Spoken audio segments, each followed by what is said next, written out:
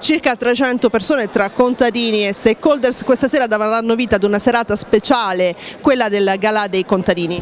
Sì, eh, abbiamo inteso declinare eh, un po' una festa, eh, questa idea mi è venuta un po' facendo una ricerca su Google.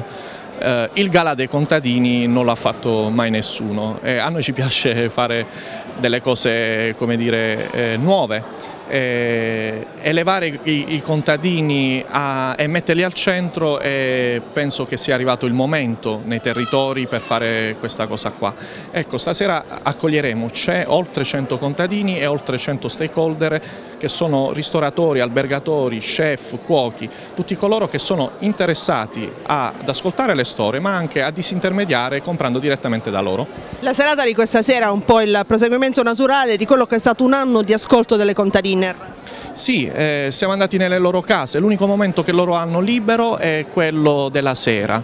Eh, abbiamo chiesto loro di aprirci le porte, di invitare i confinanti, abbiamo scoperto che tra di loro non si conoscono e siamo arrivati a conclusione che laddove non c'è una relazione non può nascere naturalmente un'aggregazione, la condivisione anche dei mezzi agricoli e non può entrare l'innovazione. Laddove non c'è eh, il terreno della relazione non può succedere praticamente nulla.